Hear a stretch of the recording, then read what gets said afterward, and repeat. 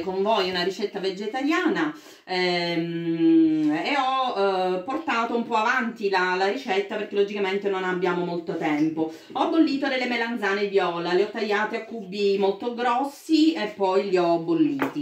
Eh, li ho strizzati un po' e adesso dobbiamo eh, tagliarli a pezzettoni perché poi dovremo eh, comporre eh, le nostre eh, polpette. Gli altri ingredienti sono uova, pangrattato e un po' di formaggi, eh, quindi se abbiamo un po' di caciocavallo, un po' di ragusano grattugiato, eh, una provola, ehm, degli odori come prezzemolo, basilico, in estate anche la mentuccia eh, è buonissima possiamo eh, utilizzarli. Ecco, abbiamo tagliato in modo grossolano le nostre eh, melanzane, adesso aggiungiamo un uovo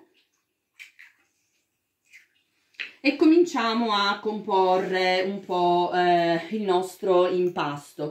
Aggiungiamo del pangrattato che io già ho condito con del prezzemolo, del basilico, dell'aglio e del caciocavallo in modo tale da essere un po' più veloce nella realizzazione della nostra eh, ricetta.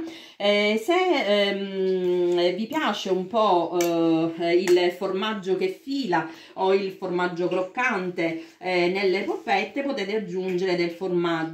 Eh, io eh, ho qui una, una provola che um, di un'azienda locale eh, di Giarratana che è una provola molto buona e che se mh, mm, voi gradite un po' appunto dei pezzettoni di formaggio dentro eh, potete utilizzare. Considerate che questa è una ricetta che va benissimo sia per eh, gli amici eh, che devono ehm, eh, consumare cibo gluten free che per gli amici che hanno la necessità eh, di mh, mm, mangiare anche senza lattosio perché utilizzando un formaggio caprino, un formaggio pecorino eh, possiamo benissimo ehm, servirli eh, servire queste polpette un po' a tutti.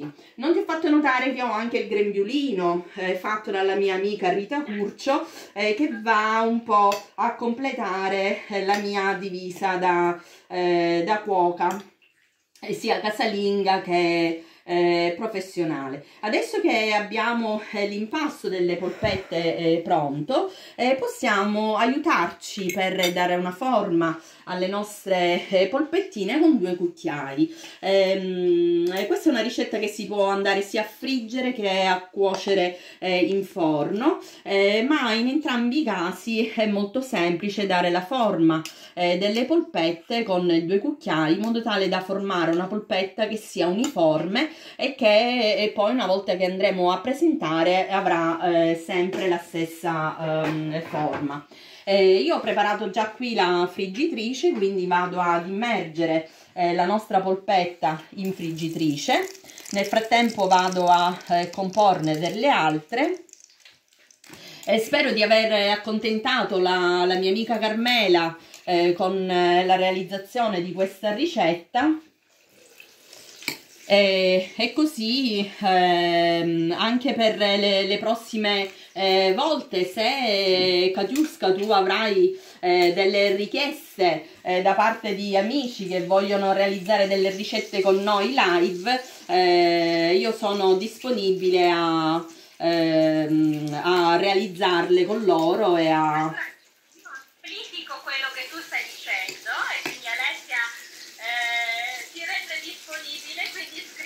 Sì, sì, tranquillamente.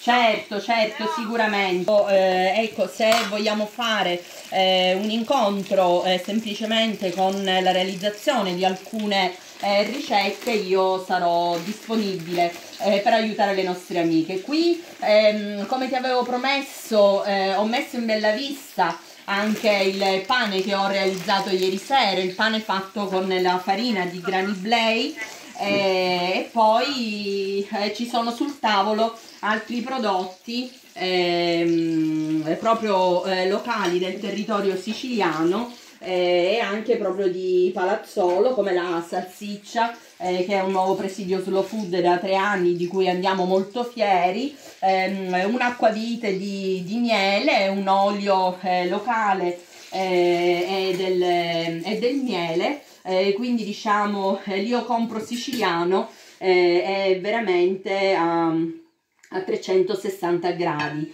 Io ti faccio vedere qui le mie polpettine di melanzane. Le decoriamo con una fogliolina di basilico. E il nostro pranzo eh, è servito. Eh, sono delle polpettine, guarda, buonissime, leggere, eh, che sono ottime sia come aperitivo che come eh, un secondo vegetariano, come un, un antipasto. Ehm, io le, le, offro spesso sia ai miei ospiti che vengono al, nelle cooking class che ehm, alla mia famiglia durante eh, la, la, stagione estiva quando le melanzane sono proprio di... Ehm... Allora, qui arrivano messaggi per te a valanghe, Alessia. Che bontà, che buoni. Salvo Renza, riparla del territorio, il target di turismo medio-alto che si trova ad Ortigia si dovrebbe espandere a tante location dove sia come scenario paesaggistico che ambientale meritano tante attenzioni, comunque Ortigia è veramente magica. Eh, poi dicono, meraviglia, ci piacerebbe. Daniela Vinci ti dice che bontà, insomma vorrebbero... E non sentono il profumo, e non sentono il profumo, Katiuska, perché guarda proprio eh, il segreto di questa ricetta è che prima viene mangiata eh, grazie al profumo. Un cavolo, allora senti Alessia, io faccio così Innanzitutto volevo salutare tutti gli amici che ci hanno seguito in diretta, continuate a seguirci, scusatemi se qualche messaggio durante la lettura della diretta mi sfugge. Ormai siamo tanti. Ho un piccolissimo schermo dove scorrono velocemente per cui magari a volte mi sfugge di leggere qualcuno, però perdonatemi, eh, sono Calogero Maltese ti fa sempre complimenti.